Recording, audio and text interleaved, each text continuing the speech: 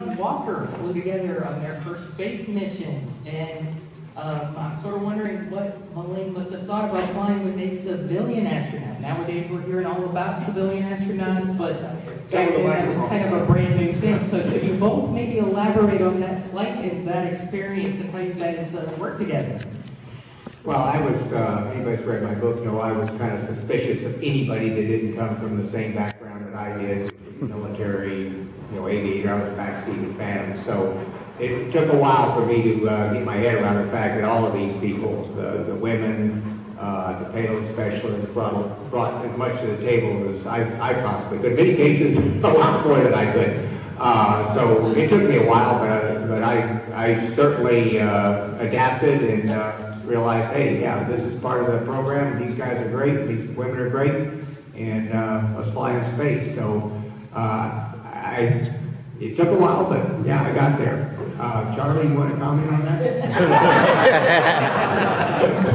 well, just ignore everything that Mike just said.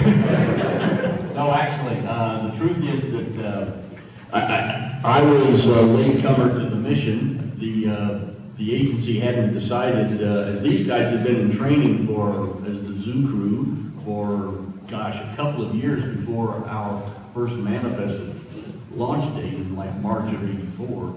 Uh, and so, actually, the payload, I was flying with a payload. It wasn't like a payload was flying with me. The whole idea of the payload specialist thing was that uh, somebody had some expertise on a experiment research, an R&D project, a payload that NASA wanted to see flown for whatever reason.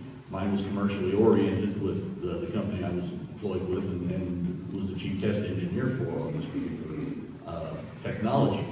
And NASA wanted to see this payload flown. It manifested it uh, with the capabilities of the mission on a particular mission to match. Ended up on 41D, JR, Judy Resnik, was first assigned, Hank said, uh, well, you know, she's, she should be the one that operates this on our, our mission. This was before I, the, the agency had said, yes, a payload specialist can be assigned to go along with this. Now, this wasn't the first flight of my payload, CFES, CFIS, uh, because I had trained uh, three other crews prior to that uh, time to operate the experiment uh, in orbit. And um, so uh, it was, I thought, we thought for a while that this was going to be a fourth flight with an uh, MS or two operating and uh, mission specialist, uh, professional astronaut corps.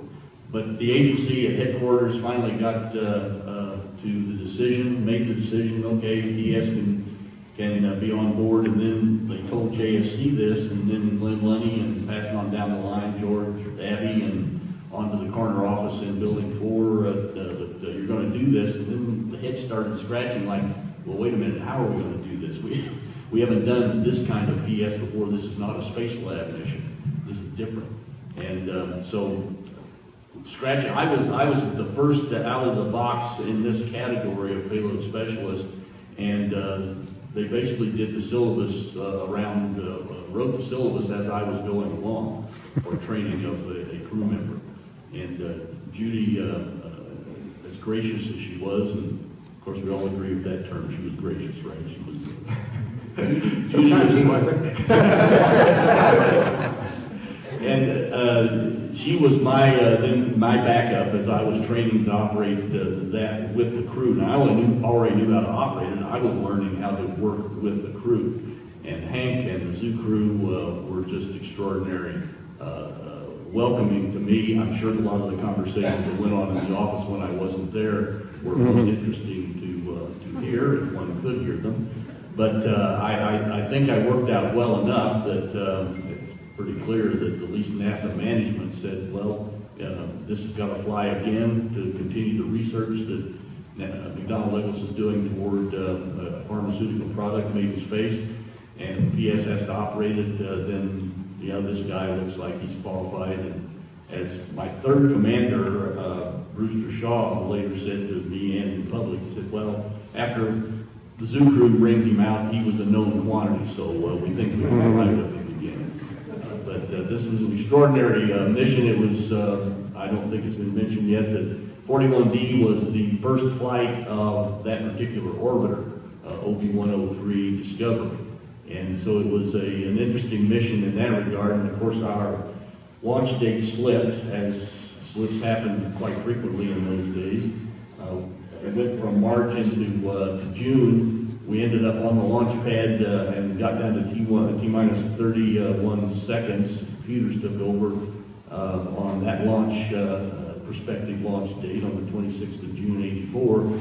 And um, the, uh, the three engines were started up in sequence, except, no, wait a minute, number two engine didn't quite meet the computer's tolerances, and so there was a redundance at the launch sequencer uh, shutdown. The first on-pad abort in the shuttle program on the pad at T-minus two and a half seconds. So um, we, uh, That got our attention, by the way. That got our attention. I was down in the deck with JR, the rest of the was uh, upstairs on the flight deck. And, uh, of course, we were all listening to the, uh, the headsets. It was an interesting circumstance. Mike, you ought to relate more about that. Yeah, when those engines started, I, we practiced the, uh, abort, uh, getting out of the cockpit on a dry count about, I don't know, two or three weeks before they actually going out there to launch, so it wasn't like we hadn't done this before, but when you get down to those final seconds like that, at least I know in my brain, I wasn't thinking, when those engines started, you get that heavy rumble in the cockpit, I, I thought we're going, you know, this is it, for better or worse, we're going. And, uh, then when all of a sudden they stopped, that really, you know, was a, a shock. And when they mentioned the word fire, uh, shortly thereafter, that really opened our eyes. I do recall Hawley, I looked over at Hawley and, uh, you know, his eyes were as big as saucers, so I knew I was looking in a mirror. And he said, I thought we'd be higher when the engines quit.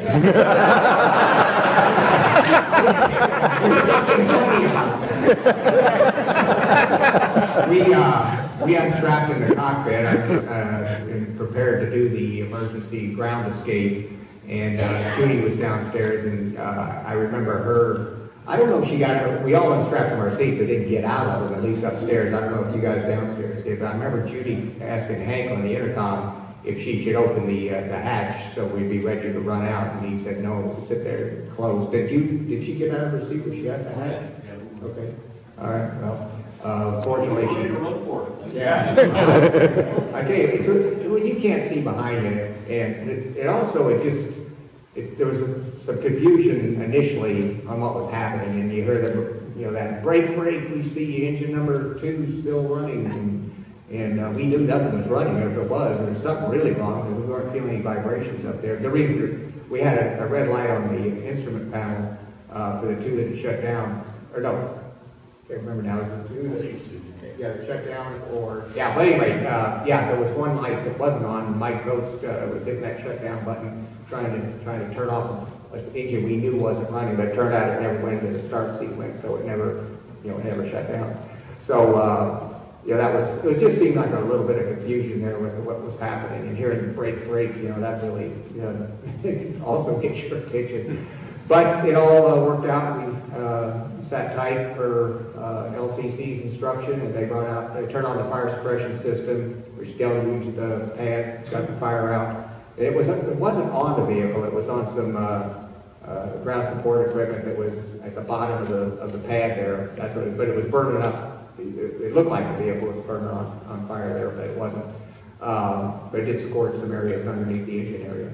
But uh, they got that out and uh, came out and extracted this the normal way. And, and uh, Judy Resnik's hair took a significant hit from the from the deluge. She looked like a, a drowned, drowned cat walking in there. You know, she had that big bushy hair and all, all waterlogged. But uh, yep. And then we went off to the press conference to say, yeah, there's never any problem, no problem. Yeah, Mike, I got one last word on that regard. Uh, Mike relates to uh, JR's uh, uh, appearance from the head down.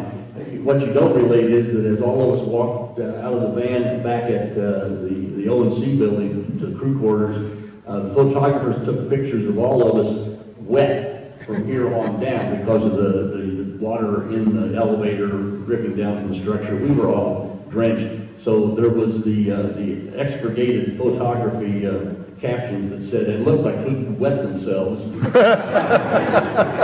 The first launch abort, but no, they did that. Who says we didn't?